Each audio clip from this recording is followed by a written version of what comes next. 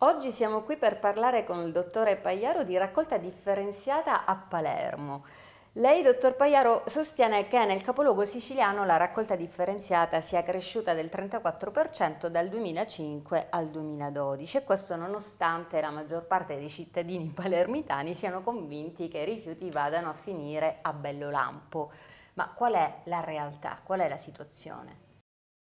La verità è quella che viene comunicata dall'azienda pubblica di igiene ambientale al Ministero dell'Ambiente e al consorzio che si occupa eh, per via obbligatoria della raccolta di questi, eh, di questi, rifiuti. Effettivamente la raccolta differenziata a Palermo ha subito un significativo incremento eh, di quasi il 35% in, in sette anni, che è stato largamente dovuto all'istituzione della raccolta porta a porta per circa 130.000 abitanti della città. Lei appunto parla di raccolta differenziata porta a porta, ma qual è il numero di cittadini raggiunti da questo servizio oggi a Palermo? Ad oggi i cittadini raggiunti sono circa 130.000, però dal prossimo febbraio, quindi nel giro di poco più di un mese, saranno altri 130.000, quindi sostanzialmente sarà poi la metà della cittadinanza di Palermo e sarà raggiunto da un servizio di raccolta differenziata obbligatorio porta a porta. Lei prevede che eh, nel 2013 saranno raccolte diverse tonnellate di rifiuti differenziati, ma dove vanno a finire questi rifiuti differenziati?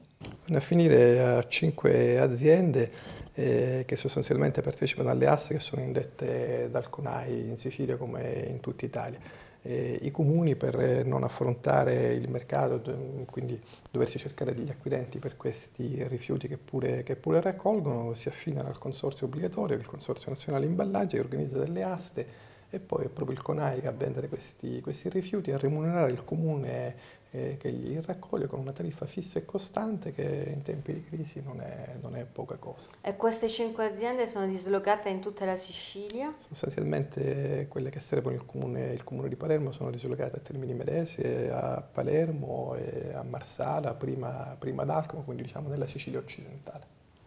Differenziare i rifiuti non vuol dire soltanto risanare e eh, proteggere l'ambiente, vuol dire anche abbattere i costi e risparmiare. Come possiamo abbattere eh, le bollette che ci arrivano?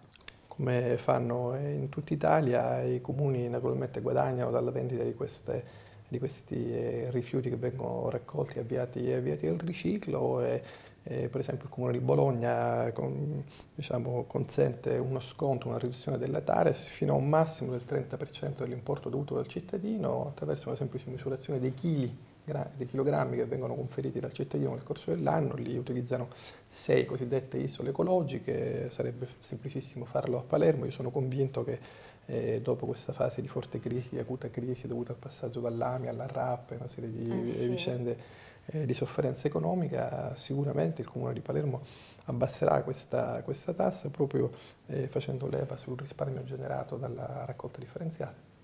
Quindi ci, potrebbe essere, eh, ci potrebbero anche essere degli incentivi per il cittadino?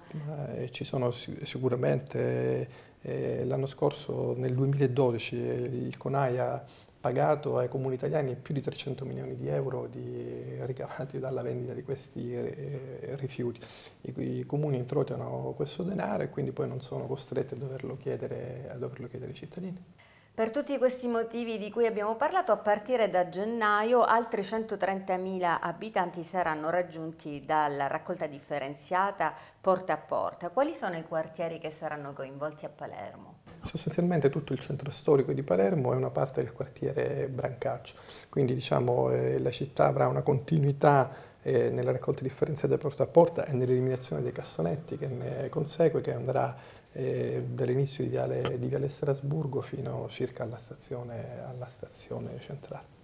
Ci spiega come fanno i comuni siciliani che riciclano a farsi pagare le materie prime e seconde? In maniera semplicissima misurano eh, la quantità in chilogrammi per i eh, rifiuti eh, differenziati, la carta, il cartone, il vetro, la plastica e poi eh, la conferiscono al, al, consorzio nazionale, in questo caso il consorzio per esempio la carta e il cartone al consorzio nazionale imballaggi e poi il CONAI a venderli e naturalmente è un consorzio eh, che agisce a tutti gli effetti come un ente pubblico, poi dopo poco tempo remunera il comune con la quota, con la quota corrispondente.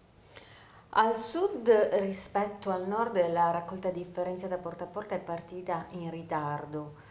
Qual, qual è la differenza oggi tra il nord e il sud? È ancora così elevata? La differenza in termini quantitativi è, è ancora elevata in termini di percentuale. Sostanzialmente il sud si attesta una percentuale complessiva che supera di poco il 20%, quando al nord siamo a percentuali che superano il 50%.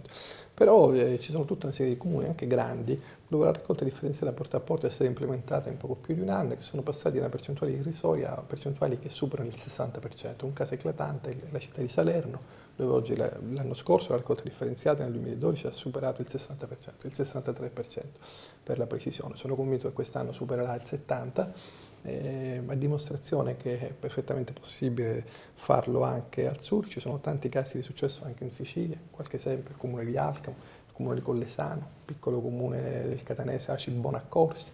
Benissimo, i cittadini non chiedono altro che averlo anche nel loro territorio per una riduzione significativa dell'impatto ambientale, ma anche dell'impatto visivo, pensi alla questione del turismo.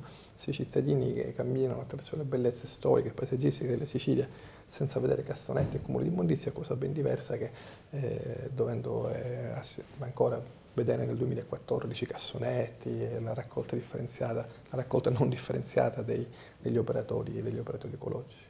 Quindi è una volontà del comune essenzialmente? È una volontà fortissima del comune, il CONAI insiste moltissimo sull'importanza ovviamente dell'azione del sindaco, tanto più oggi eletto direttamente dai cittadini, se i sindaci si attivano in poco tempo è possibile articolare sul territorio, sul loro territorio, una raccolta differenziata porta a porta che porta grandi benefici che sono sì di ordine ambientale ma che sono anche di ordine, di ordine economico. economico. Di ordine economico.